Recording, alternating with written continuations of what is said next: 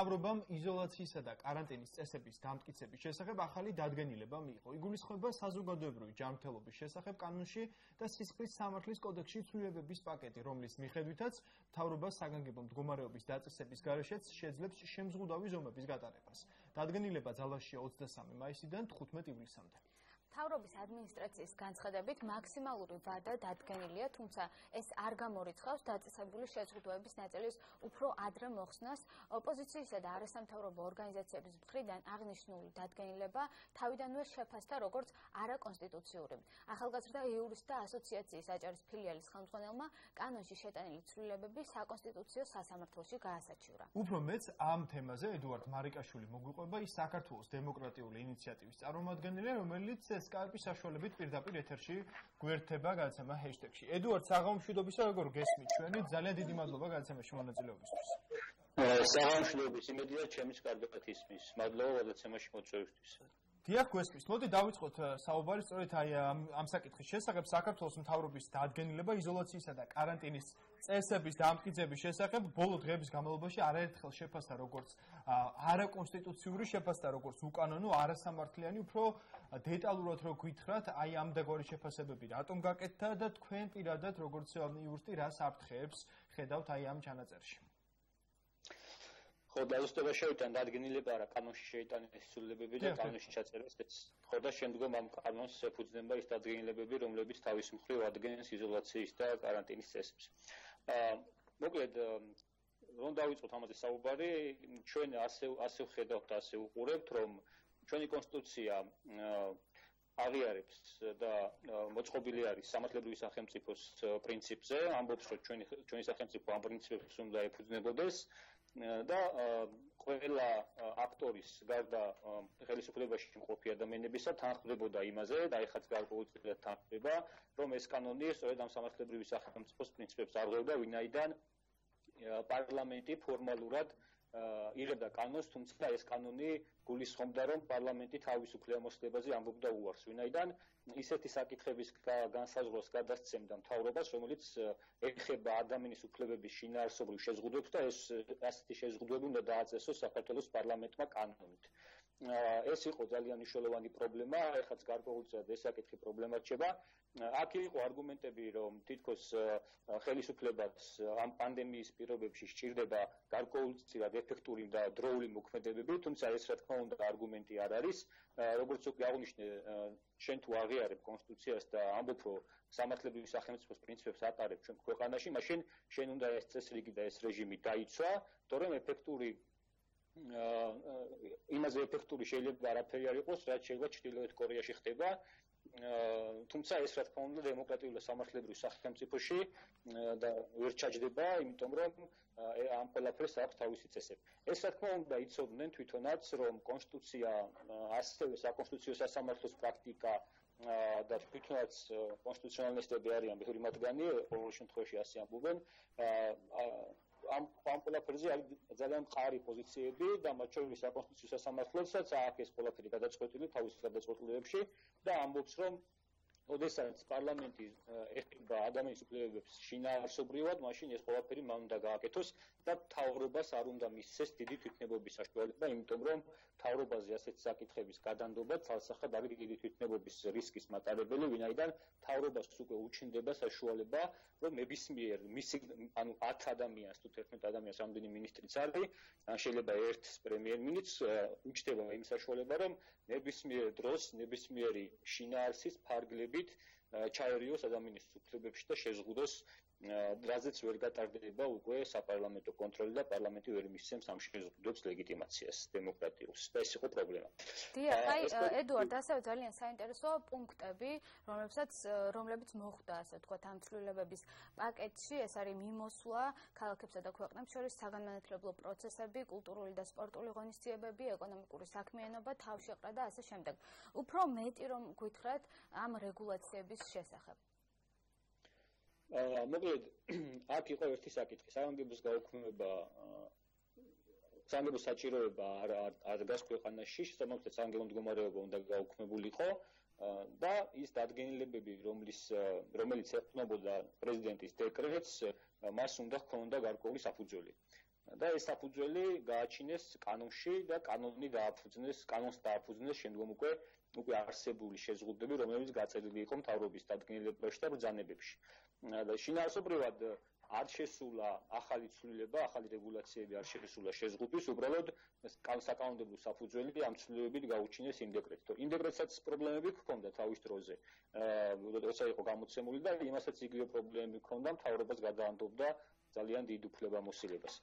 დიახ, ეს შეეხება შეზღუდვებს, დიახ, შეზღუდვები რჩება იმ დადგენილებებით, რომელსაც უკვე მთავრობა გამოსცემს, თუმცა აქ არის მნიშვნელოვანი ერთი ის გარემოება, რომ რაც რა თქმა უნდა კარგია, რომ პარლამენტმა ამ კანონის მიღებამდე გაითვალისწინა სახალხო დამცველის გარკვეული რეკომენდაციები, რომლითაც გარკვეულწილად უფრო შეამსუბუქა ეს პრობლემა.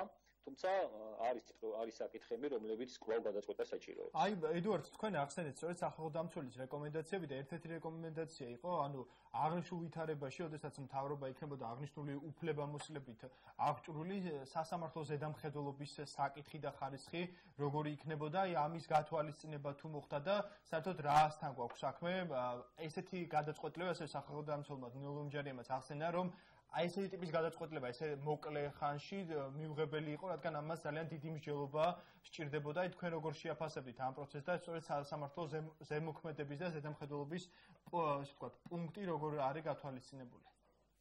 სასამართლო კონტროლის სწორედ აი ერთ-ერთ მაგას გულისხმობდი, როდესაც ვამბობ, რომ საჭიროა თქვი დახვეწას და გადაწყვეტას პრობლემების. სასამართლო კონტროლი არის ძალიან სუსტი ამ პროცესებზე და განსაკუთრებით ეს ეხება იზოლაციისა და каранტინის წესს და იზოლაციაში და თვითიზოლაციაში ადამიანების მოთავსებას. აქ საქართველოს კონსტიტუცია პირდაპირ გვეუბნება და არანაირი გამონაკლისს არ ადგენს ამ შემთხვევაში და ამბობს რომ თუ კი შენ გინდა რომ ადამიანს შეუძლო თავისუფლება და ეს იზოლაციის წესი პირდაპირ ეხება ადამიანის თავისუფლებას ვინაიდან ძალიან დიდი ინტენსივობით 14 დღის განმავლობაში უზღუდავს ადამიანს გადაადგილებას ერთი იძულებით როცა კარანტინში მიყავთ და მეორე როცა თვითიზოლაციაში აქცევით მართალია პირდაპირ არერევია მის თავისუფლებაში, მაგრამ კანონის კანონის შიშით და კანონის ძალით ადამიანი იგივე როგორც როგორც შეაპატიმრებაში იყოს ისე არის. ეს ყველაფერი საჭიროებს სასამართლო არა კონტროლს, ანუ არა კარგად გასაგები რო იყოს, არა ისეთ მოწესრიგებას, რომ აი დღეს მოგაქცევენ იზოლაციაში და ხვალ შენ შეგიძლია შეიტანო საჩივარი და თქვათ ერთი თვის ან ორი თვის ან ერთი წლის მერე გადაწყვეტ სასამართლო და იტყვის რომ აი ერთი წლის წინ რო შენ ჩაქსვეს იზოლაციაში, ის იყო უკანონო, არა კონსტიტუცია გეუბნება რომ სახელმწიფოს და პოლიციას და ნებისმიერ ორგანოს, რომელიც ამას აკეთებს, სჭირდება წინასწარი ნებართვა სასამართლოს. ანუ ჯერ უნდა მიდიოდნენ წესი ესე არის ანუ შეიძლება გარკვეულ ვინმე რამე პრობლემას ხედავდეს ამაში ეფექტურობის თვალსაზრისით მაგრამ ეს ვერ გაამართლებს იმას რომ ადამიანების იზოლაცია სასამართლო კონტროლის გარეშე მოახდინო ანუ უნდა მიდიოდნენ სასამართლოში მიხონდეთ დოკუმენტაცია მიხონდეთ მტკიცებულებები და ეუბნებოდნენ რომ ამ ადამიანების მოთავსება არის აუცილებელი ვინაიდან ისინი საზოგადოებრივ ჯანდაცვას და უსაფრთხოებას უქმნიან ჯანმრთელობას უქმნიან საფრთხეს ეს რატო არის ძალიან მნიშვნელოვანი?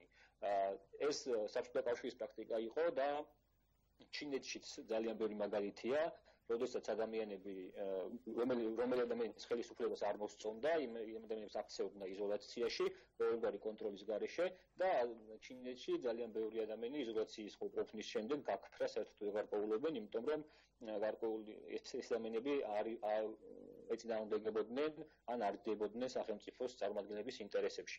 ჩვენთან შეიძლება ესე აი ეს ფაქტი არის ძალიან საინტერესო. გამომდინარე იქედან რომ პანდემიას არ ებრძვის მხოლოდ საქართველოს, საინტერესოა სხვა ქვეყნების გამოცდილება. ჩინეთის მაგალითი მოიყვანეთ ახლა. სხვა ქვეყნების გამოცდილება როგორი არის ამ მიმართულებით? ადამიანის ჯანმრთელობაზე ზრუნვის სახელით სხვა დემოკრატიულ თუ არადემოკრატიულ სახელმწიფოებში ხომ არ მოხდა მსგავსი ცვლილებების იზოლირებათ და შეტანათ. და ერთად დავამატებდი მარიამ, ედვარდს საინტერესოა თვითონ იზოლაციის და каранტინის გაგება სხვა სახელმწიფოებშიც როგორი როგორი ამიტომ იყო საუბარი, რომ ჩვენთან როგორც განიმარტებოდა რიგ ნაწილში განსხვავდებოდა იმ განმარტებისგან, რასაც ევროპული ქვეყნები გვაძლევენ და თუნდაც დასავლეთის ქვეყნები გვაძლევენ. აი ამ მიმართულებითაც რომ მიმოიხილოთ საინტერესო იქნება. პრინციპი ერთ და იგივე არის, შეიძლება სხვა სხვა ქვეყანაში სხვადასხვა ინტენსივობით იყოს და ასე შემდეგ. პრინციპი არის ერთი, რომ ეს ვირუსი და პანდემია საჭიროებს მასთან ბრძოლა საჭიროებს მაქსიმალურ სოციალიზაციის დარღვევას, ასე ვთქვათ, თავშეყრა ადამიანების უნდა მაქსიმალურად გახადო ჯაჭვები უნდა გაწყვიტო მათი კონტაქტის. ამ კუთხით, რა თქმა უნდა, იზოლაცია არის ერთ-ერთი საშუალება. ეს რომ მნიშვნელოვანია ამ ვირუსთან ბრძოლის პროცესში, ამაზე არავინ არ დაობს.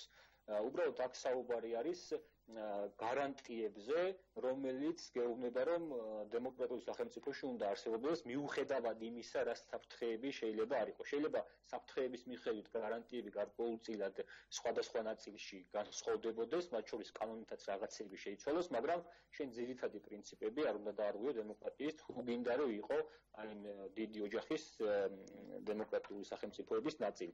ეს განსაკუთრებით მნიშვნელოვანი არის აი მაგათ გერმანიას აქვს ძალიან ესეთი ფრთხილი მიდგომა თუნდაც საგანგებო მდგომარეობასთან მიმართებაში თუნდაც უფლებების შეზღუდვის ნაწილში მაქსიმალურად ცდილობენ რომ ეს ყველაფერი არ გადაიზარდოს ადამიანის უფლებების დარღვევაში. და ეს საგანგებო მდგომარეობა და ზოგადად მსგავს ფართომასშტაბიან ვირუსებთან პანდემიებთან ბრძოლის ნაწილი განსაკუთრებით საშიში არის ისეთი ყიფე დემოკრატიის დემოკრატიის ქვეყნებისთვის, როგორც ჩვენ ვართ, ჩვენ ხვალ ერთ ჩამოყალიბებული დემოკრატია, ხო? ანუ ყოველი ნაბიჯზე შეიძლება სადღაც ისეთი საფუძველი იპოვოს ხელისუფლებამ, რომ ფეხი დაუცურდეს, ან ან განზრახ გადადგას ეს გააკეთოს ეს ყველაფერი და იპოვოს, ანუ იპოვოს შანსი, რომ ფართო ფართო ძალაუფლება, ძალაუფლების კონცენტრაცია მოხდეს აი თუნდაც მთავრობის ხელში. და ამას შეიძლება რეალურად ვიხილოთ პარლამენტის ფუნქციის დაკნინებას, რომელიც ძალიან პრობლემურ შექმნის თუნდაც დემოკრატიას. ედუარდ, ბოლო შეკითხვით მინდა მოგმართოთ თქვენ როგორც ვიცი ჩვენ საქართველოს ახალგაზრდა იურისტთა ასოციაციის აჭერისფილიანის ხელმძღვანელმა მიმართა საკონსტიტუციო სასამართლოს სწორედ აი ამ საკითხზე რომ აღნიშნული საკანონმდებლო ცვლილება ცვლილება არაკონსტიტუციურად ესე ვთქვათ ცნოს საინტერესოა თქვენ რა მოლოდინები გაქვთ რა ასეულდებით საკონსტიტუციო სასამართლოდან რითი ხელმძღვანელებს ვადები, რა ვადებში იქნება ეს გადაწყვეტილება მიღებული და ასე თქვენ პრაქტიკაც თქვით, სასამართლო პრაქტიკაც, რომელიც აი ამ მიმართულებით არსებობს, ას უნდა ელოდეს საზოგადოება და თითოეული მოქალაქე. ეს არის ძალიან მნიშვნელოვანი ნაბიჯები, რაც გულისხმობს გასაჩივრებას ამ ყველაფრის, იმიტომ რომ ჩვენ რეალურად სხვა მეთოდები ამ ყველაფერთან ბრძოლის არ გქება. რაც შეეხება საკონსტიტუციო სასამართლოს, ჩვენც ერთი სარჩელი შეტანილი გვაქვს რაღაც ნაწილში.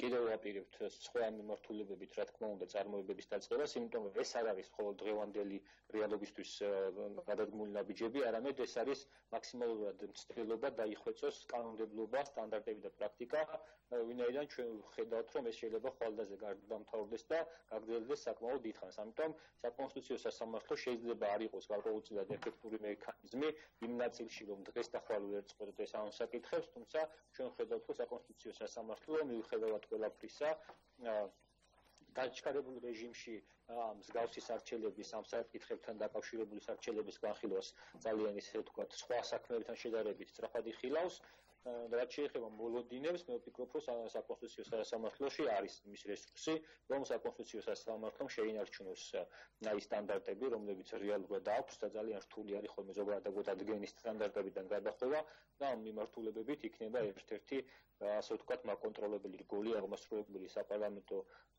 ხელისუფლების აღმასრულებელი ხო და საკანონმდებლო ხელისუფლების, რათა აი ამ სტანდარტების დადგენაში დაიხმაროს, იმიტომ რომ ეს იქნება ჩვენი ქვეყნისთვის ძალიან მნიშვნელოვანი. დიდი მადლობა ედუარდ, სამწუხაროდ დრო ამოგვეწურა უკვე გადაცემის. მადლობა რომ იყავი ჩვენი სტუმარი.